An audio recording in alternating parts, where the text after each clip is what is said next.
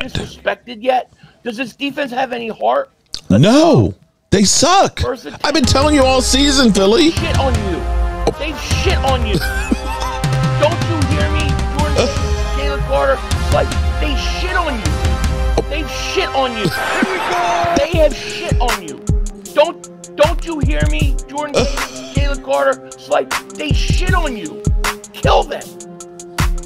Oh my goodness! Did he say they they cock it on them? Hate the style Well, good morning, good people. Mark Holmes here with my buddy Cowboy Jobu, as well as Joe Bear in the house. And as always, I want to say thank you all for watching, commenting, subscribing, and being part of the Jobu Sports Report. Without you guys, as well as you ladies, you know that this literally does not work. So let's get open for business here and let's wake up those football gods. You could be anywhere right now, and I'm so thankful that you are here. We have now crossed over 85,000 of you guys. And I want to thank each and every one of you for being here, which makes me not get tired from the work. No, no, no, no, no, no. This motivates me to do even more. Hope you tune in 5 o'clock Eastern today as we have our channel members being able to call in and be part of the show. We'll be talking about the shitstorm that is the Dallas Cowboys, as well as a little bit of Super Bowl. You know, it's kind of crazy because this is Super Bowl week. Sorry, 49er fans, we ain't into you. We ain't been talking about you. It's been all about the Dallas Cowboys and their dysfunction. And it's just getting crazy. You know, the I think the turning point for me was hearing D Law basically saying we were tired. I, I, I just literally, uh, yeah, I, I was sitting here laying in bed this morning and talking to my wife, and I'm like, this off season has been crazy. I said, you know, I said everybody is pissed off. And she's like, still? I said, listen. I said it just keeps getting worse. I said, you know, I said, let, I said, let me ask you, honey. You know, I said, I, I said, if you heard this as an excuse for why you lost, I said, we were tired. She looked at me like, the fudge? She's like, wait a minute. He didn't. She he he didn't really say that, did he? I said yes, he did. I said yes, he did. She's like, oh. She's like, boy, that that's not the thing to say.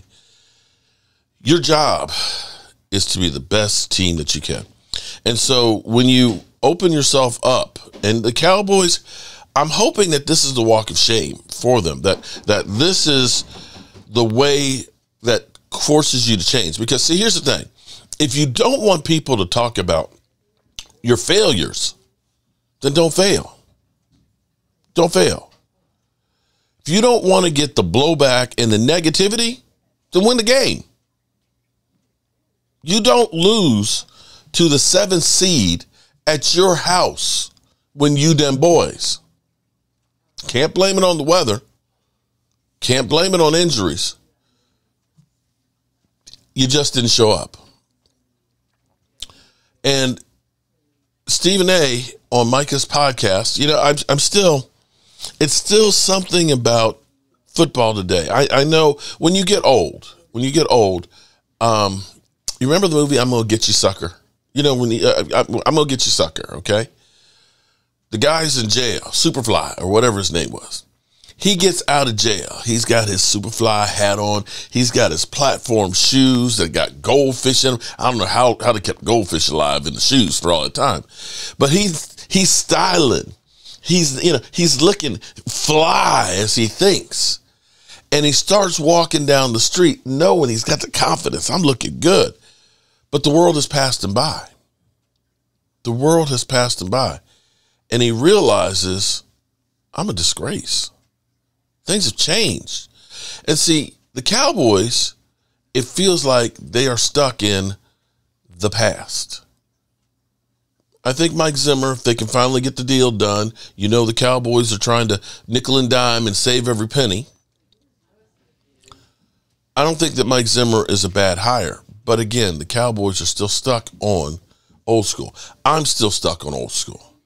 So when I look back, I'm kind of like that, like Superfly it's something to me about this whole embrace of your enemy And I know it's free agency because, you know, you play for one team. As Demario sat here and said, you are an independent contractor. You get a 1099 at the end of the year. It's about getting paid. You're going to do the best that you can for your employer. But the end, it's you and that company. There is no we in here. We see players cut left and right. By day, you didn't hang out with the guys on the other teams. The Cowboy players and the Washington players, they didn't, you know, do podcasts and hang out and work out together. They hated each other.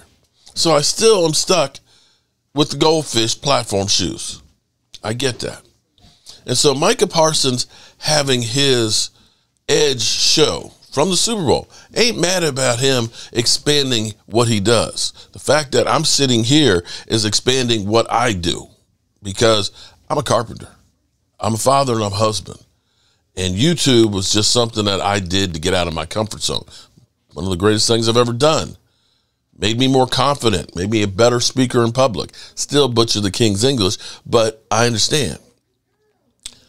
But it's something about Micah Parsons and the enemy that still bothers me. Now, Micah Parsons had Stephen A. Smith on his show, and Stephen A. Smith points out what pissed him off about Dak Prescott.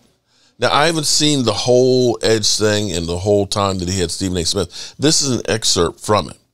But see, the thing is, is at least in this clip, it's just about Dak Prescott, even though everybody played bad. And that's where everybody focused. I get it. You're the quarterback, you're the guy getting the big big contract and everything else. And so you got to take the bullets. So this is Stephen A. Smith with Micah Parsons. And I'm sure that that uh, Skip Bayless is kind of pissed because he's not on there. But let's listen to what Stephen A. has to say on his latest dig on Dak Prescott. Let's let's go to the tape.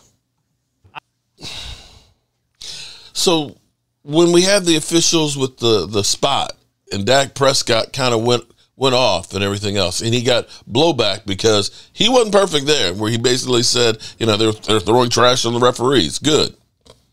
Oh my God, that wasn't a perfect statement. So wait a minute, let me see if I got this right.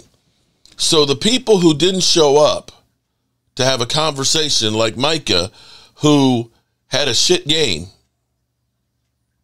the CeeDee Lambs out there who were dropping balls that didn't show up after the game and talk about it, that those are the guys that are going to make us win?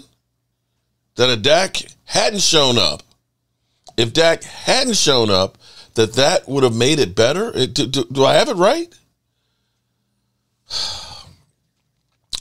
This is the one that really gets me here.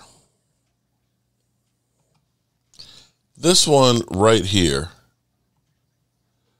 with Micah and Jordan Love. You got your teeth kicked in by the Green Bay Packers a seventh seed in your own house. And here you are sitting here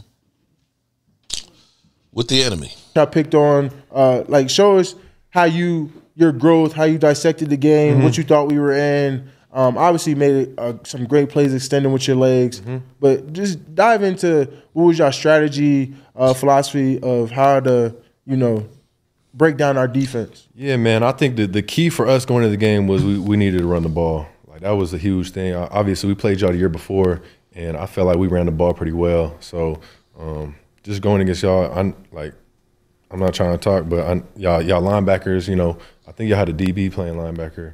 Um, I don't know, but like that was our goal was to be able to run the ball, and it was going to set everything else up. And obviously, uh, I think y'all biggest weapon is y'all pass rush, and so.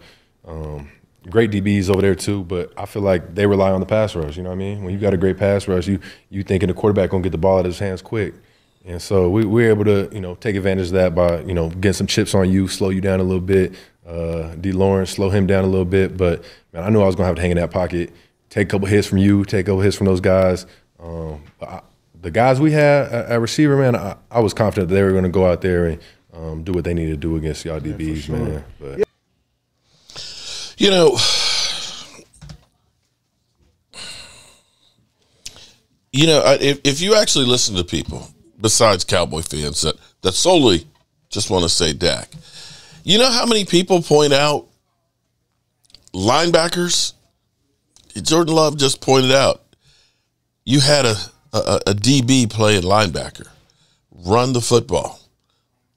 We knew we'd be able to run the football. Your defense, it's made the pass rush. We knew to run the football.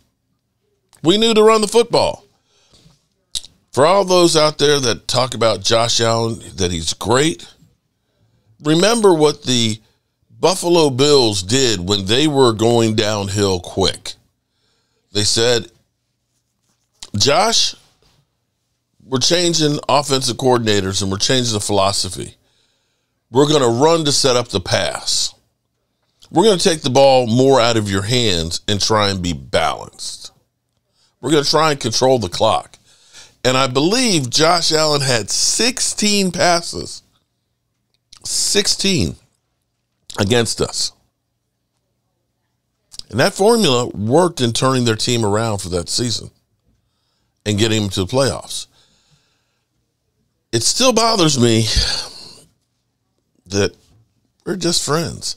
I mean, I it would be hard for me to punch David Wiley in the mouth. We're friends. We're buddies. If I hate you, it's a little easier for me to want to punch you in the face. Just saying. I'm stuck like Superfly with the goldfish platform shoes. I know it's a different era than when I grew up.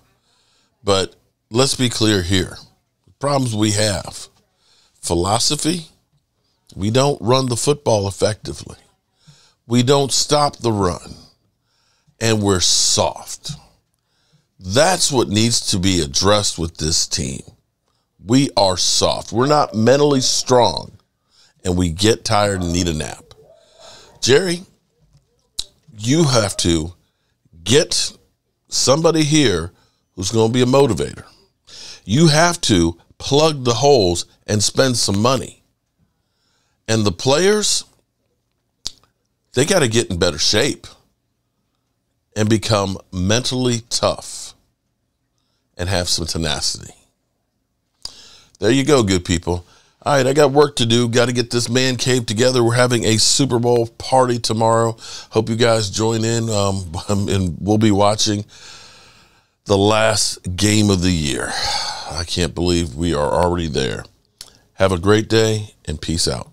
Mark Holmes here, and as always, I want to thank you all for watching, commenting, subscribing, and being part of the Joe Sports Report.